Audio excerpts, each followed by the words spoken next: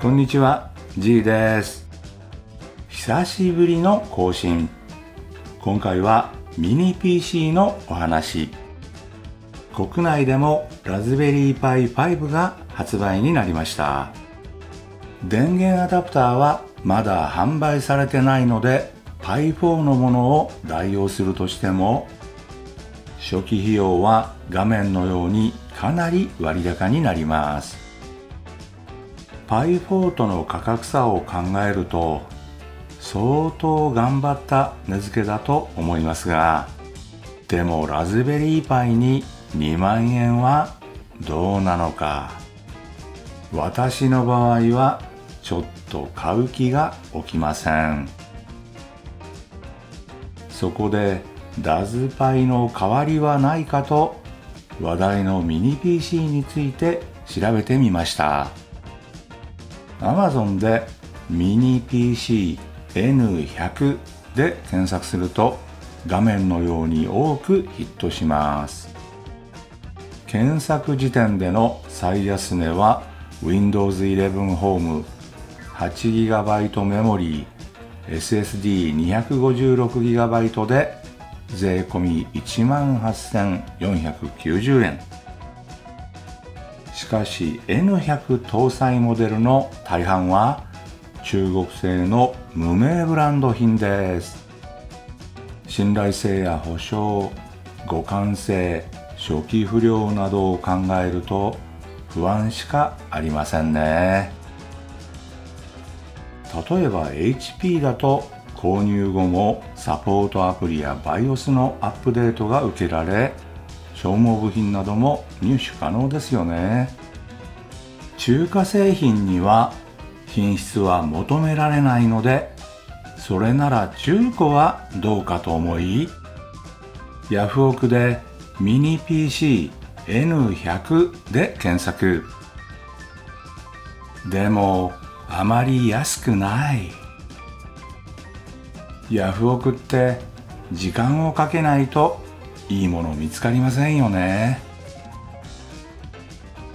だけど実際のところ N100 搭載のミニ PC ってどうなんでしょう。N100 は2023年発売の4コア4スレッドの省電力 CPU ウェブを見たりオフィスの利用などの日常使いなら N100 で十分というのが流行りの理由でも日常使いの PC ってどの程度の性能がいるんでしょうか？試しに私の常用ノートと N100 をシネベンチで比較してみると画面のように大差ありません。シネベンチの値は比較の目安ですから私の場合手持ち PC で十分なら N100 は不要ということがわかります。でもでも調べてる間にちょっと物欲が湧いてヤフオクでミニ PC ライゼンで検索。ライゼンモデルは機種も多くて価格帯も幅広いようです。そこで数ヶ月ほどチェックを続けて画面のミニ PC を購入。買ったのはライゼン9を搭載した2022年発売モデルで現在は配し方版。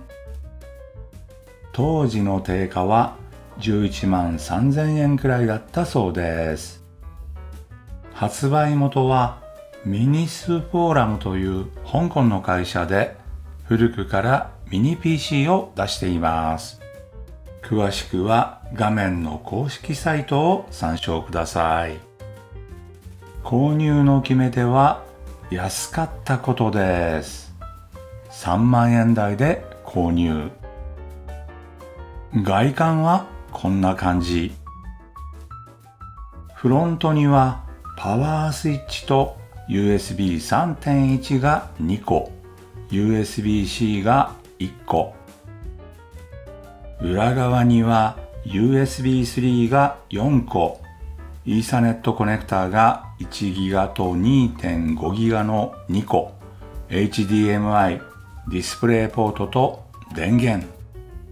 それからさらに SSD を2台内蔵できるそうです。拡張性はめちゃいいですね。はじめに Windows アカウント設定をして各機能をチェックし画面のアプリをインストール。動作確認していくと初期状態からいくつか不具合があるようです。うん。Windows 11でちゃんと動くようにしたいので、ここからは不具合の紹介とその対策について解説していきます。ライゼンユーザーに多少とも参考になれば幸いです。まずは Wi-Fi が全く動作しない。Windows 初期状態では AMD ドライバーがありませんので画面の URL からドライバーをダウンロードし実行すれば解決します。次に背面の USB が正しく動作しません。おそらくこのモデル固有の問題だと思います。これには BIOS 設定変更を試して解決しました。起動時 F7 連打でエンターセットアップを選択して BIOS 画面を表示。画面のように IOMMU をオートからディスエイブルに変更します。IOMMU はメモリ管理ユニットになります。これで一応ハードウェア上の問題はなくなったんですが、裏側の USB の挙動が変。キーボード無線アダプターと USB ストレージを上下に挿すとストレージが認識されない。うーん、変なの。まあ、USB ソケットが潤沢にあって実用上の問題はないのでいいかな。トラブルではないですが、最新のグラフィックドライバーをインストールします。画面のサイトを表示して、画面のように AMD Ryzen 9 4900H を選んで Submit をクリック。Windows 11を選んでダウンロードをクリック。ダウンロードファイルで AMD Radeon Graphics Adrenaline 24.3.1をインストール。 Adrenalin は AMD の公式ユーティリティで CPU、GPU の管理やアップデートが行えます。Windows 11上でハンドブレイクが正しく動作できない。エンコード途中でクラッシュしてしまいます。また、エンコード中の発熱がすごくて明らかに何かが変。すごく時間がかかりましたが、いろいろ試して BIOS 変更で解決しました。起動時 F7 連打で BIOS 画面を表示。画面のように Core パフォーマンスブーストをオートからディスエイブルに変更。外付け SSD にマンジャロをインストールして HM90 の USB から起動。画面のアプリをインストールして動作チェックしました。マンジャロは AMD と相性がいいみたいで標準インストールだけで何のトラブルもなく全てが正常に動作。Windows であれだけあった不具合は何だったんだ？ HandBrake も正常に動作しますが AMD VCE エンコーダーは使えないようです。OpenGL や Vulkan Radeon はインストールされてるので多分 Linux 版の HandBrake が見たいようなんでしょう。まあ十分速度出てるので問題はありません。ディスプレイマネージャーは X ウィンドウ、ウェイランド両方試しましたがいずれも問題ありません。マンジャロでの動作確認中、アプリの挙動で不具合を発見。ブラウザーの挙動で Firefox は問題ないんですが、Chrome と Brave ブラウザーで日本語入力できない。日本語で検索できないというおバカな状態になってます。要は IME が切り替えできない。うーん、これって昔からあるトラブルじゃないかと思って試してみたら治りました。ターミナルで画面のようにタイプして文末に画面の一行を追記して保存。